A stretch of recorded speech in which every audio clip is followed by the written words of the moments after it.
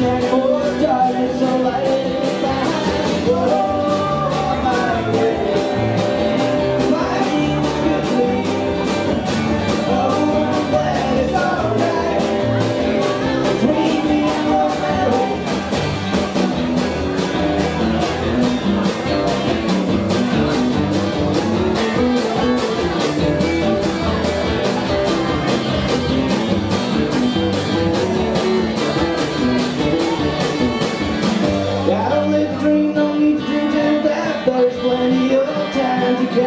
True breath. I'm starting out today with the wind in my back. If you get